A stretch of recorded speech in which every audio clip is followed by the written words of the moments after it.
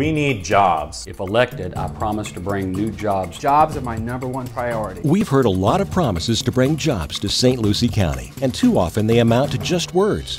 If local ballot item number 8 passes, we're talking about real jobs right here in our community. With $90 million in private local investments, number 8 could bring hundreds of construction jobs with nearly 600 good paying permanent jobs. Let's vote yes on 8. Real jobs for St. Lucie County. And that's not just lip service.